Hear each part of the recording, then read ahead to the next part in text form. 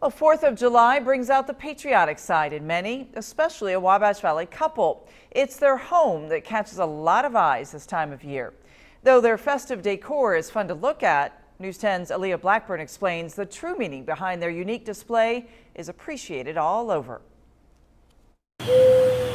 Along this quiet corner in Brazil, We'll be looking out the window and there'll be people sitting out here taking pictures. We have people that say, we don't hardly go down that road, but when we know you have your house decorated, we come by. a house that proudly wears Old Glory every 4th of July. 16 years we've been doing this. 16 years. Then had notes in the mail. I mean, Oh yeah, we've gotten cards. Susie and Mike Howard's home is quite the display. Even Google Maps doesn't do it justice. We've had a little notoriety over the years, and so, you know, people seem to enjoy it, and we do too. Festive, yes, but also a tribute to family ties, starting with Mike's late father, who served in World War II. I sit back and listen to my father's war stories, and he went over to England to fight on the Queen Elizabeth II.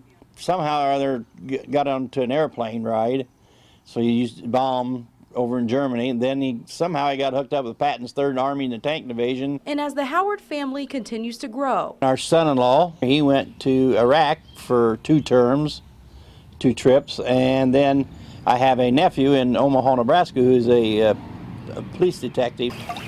So does the meaning behind this tribute. We all want to be free, and we have freedom because of all the people that did serve.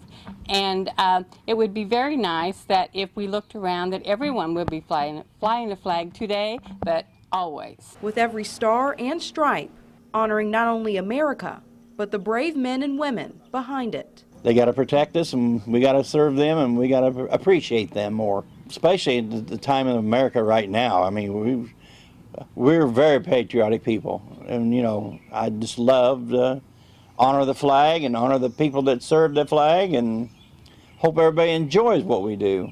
In Brazil, Indiana, Aaliyah Blackburn, News 10. The Howards say it usually takes them about a day to set up the display.